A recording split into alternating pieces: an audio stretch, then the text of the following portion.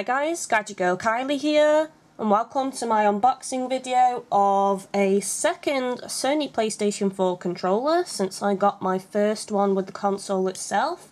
So let's get opening up this box.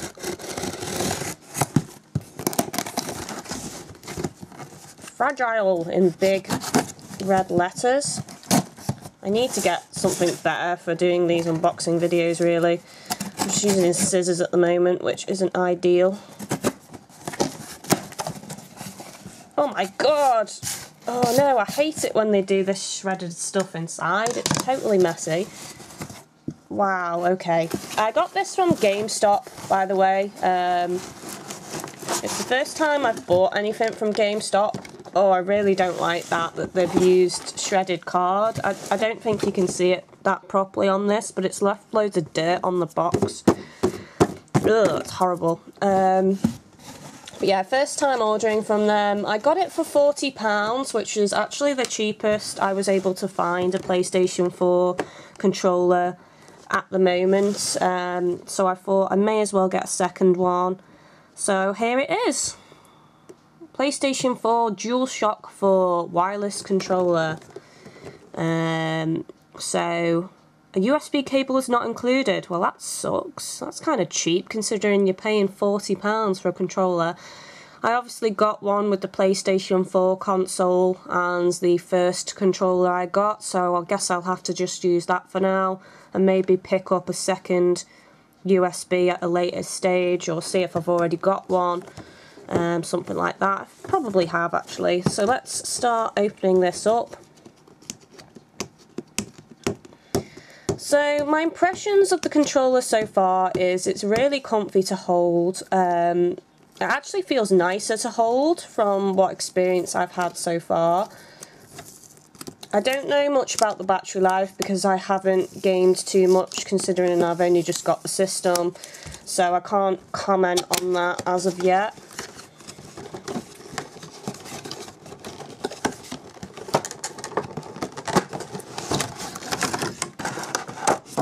Okay, so here it is.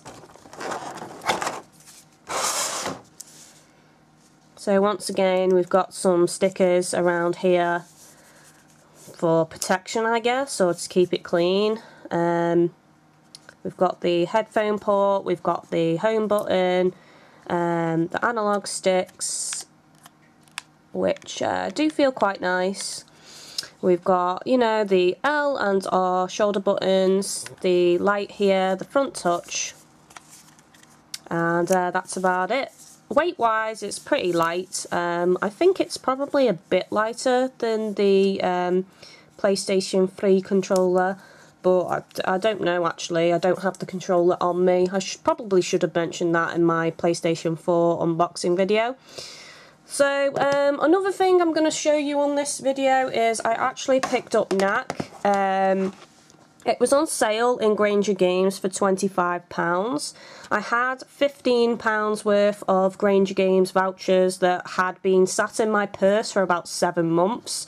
So I was able to pick up Knack for just £10 of my own money, which is a pretty good deal I think to be honest. Haven't played it yet whatsoever. Um, looking forward to playing it. I don't know if I'll do a Let's Play or not. I'm kind of hoping you guys leave a comment on this video and let me know if you think I should do a Let's Play. But obviously the main game I will be focusing on is Thief. Um, but I might be looking at doing a second Let's Play with um, the PlayStation 4. I just haven't decided what one to do yet. So leave a comment down below and let me know what you think I should do, whether you think I should do Knack or you can suggest other games.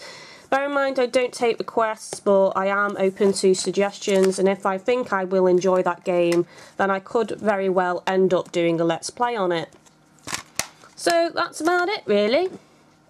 Um, what other games am I going to be getting? Well, I did say in my original video that I was going to get Tomb Raider, which I still want to get, but I'm not doing a Let's Play on that as of yet, and actually I don't even know whether I should do a Let's Play on that anymore, because um, of the copyright issues on YouTube, so I haven't quite decided on if I'm just going to scrap that idea altogether. So the main games I will be focusing on for now are Thief and a couple of games that I managed to get free from my PlayStation Plus subscription. I'll do a couple of gameplay videos of those and stuff like that. So yeah, leave a comment down below, let me know what you think I should do and stuff like that. Again, please don't bombard me with PSN friends requests. I'm not adding a load of people. I'm trying to keep my friends list down to just people I play with.